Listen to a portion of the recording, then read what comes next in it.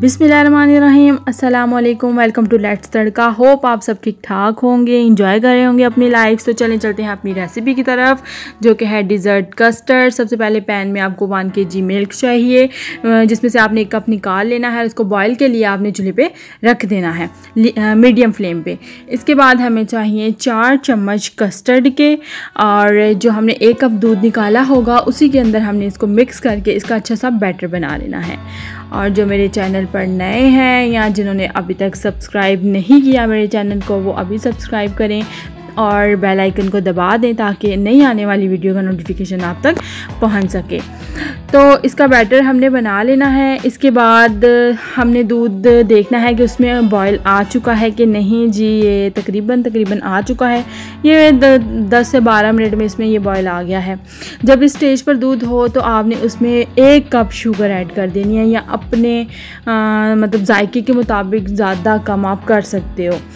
तो जी, इसमें चीनी को ऐड करने के बाद उसको मिक्स कर लेना है ताकि चीनी अच्छे से मिक्स हो जाए। जैसे ही चीनी मिक्स हो जाए, आपने उसमें वो जो कस्टर्ड का बैटर बनाया होगा, उसको ऐड कर देना है। उसको आहिस्ता आहिस्ता थोड़ा थोड़ा करके आपने ऐड करना है ताकि घुटलियाँ ना बने और साथ साथ आपने चम्मच चलाते रहना ये आप मेरे कस्टर्ड की कंसिस्टेंसी देख सकते हैं। आ, मतलब कि ये बिल्कुल एक कप में मैंने चार चम्मच जो है वो डिज़ोल्व किया था और यू कैन सी दैट ये बहुत अच्छा जो है बना है। देखिए जी मेरा कस्टर्ड कितना क्रीमी अभी से लग रहा है। इसको तकरीबन हमने अब चूल्हे पे 15 मिनट पकाना है और इसकी मज़ीद टॉपिंग के लिए हमें एक टी केक चाहिए। और ठीक है एक को पहले मैंने इस तरह काटा, फिर मैंने क्यूब्स की शक्ल में उसको मैंने काट लेना है। इसके लिए हमें मज़ीद भी चीज़ें चाहिए जो मैं आगे साथ साथ आपको बताऊँगी कि और क्या चाहिए। तो ये देखिए कस्टर्ड हमारा तकरीबन रेडी है। जब इसकी कंसिस्टेंसी ये हो तो आप इसको चूल्हे से उतार के ठंडा होने के लिए रख दें।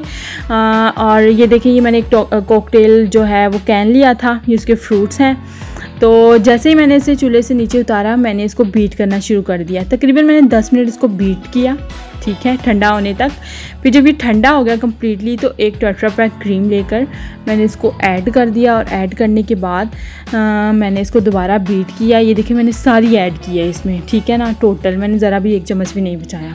तो इसको दोबारा से आपने अच्छे से बीट कर लेना है ताकि इसकी जो ये दोबारा से जमे ना उस तरह से क्रीमी सा कस्टर्ड बन जाए। तो अब इसकी हम फाइनल लुक की तरफ़ जाएँगे। ये मैं इसका आ, मतलब कि इसको तहें लगा रही हूँ। सबसे पहले मैंने कस्टर्ड डाला फिर केक फिर मैंने एक कोई भी अच्छा सा बिस्किट लेके उसको डालने के बाद कॉकटेल फ्रूट्स डाले दोबारा तय लगाई और दोबारा इसी तरह टॉपिंग की। और ये बहुत मज़े का डिज़र्ट रेडी है। ज़रूर बनाएँ ज़रूर ट्राई करें और मुझे फ़ीडबैक दें। Thank you so so much for watching अल्लाह निगेबान अल्लाह हाफिज़।